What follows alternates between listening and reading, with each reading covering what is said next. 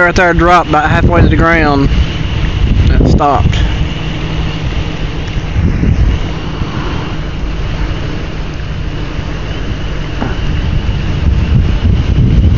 About a little bit of lightning.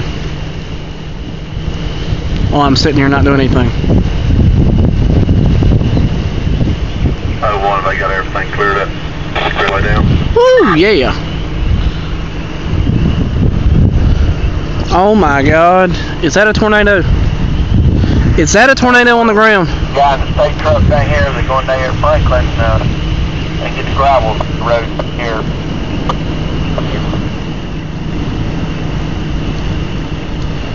Little church on the left.